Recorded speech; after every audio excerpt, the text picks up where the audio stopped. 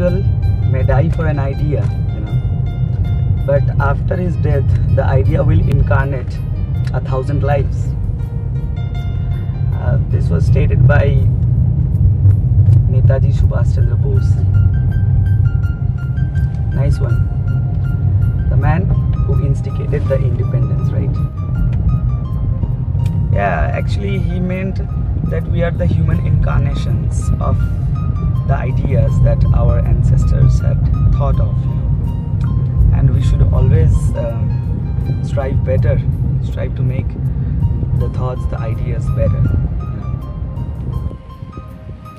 Beat the British colonization, beat 63, Indochina, mm, 1971.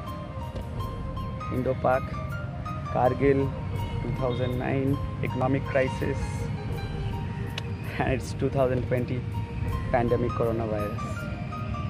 Indians have always fought to the success point and will always be. Yeah, and I, I really hope that uh, we'll and overcome this pandemic also. Yeah, it's a bit much, I know. With this, I'm ending my words, you know. Once again, a happy Independence Day and a proud one also.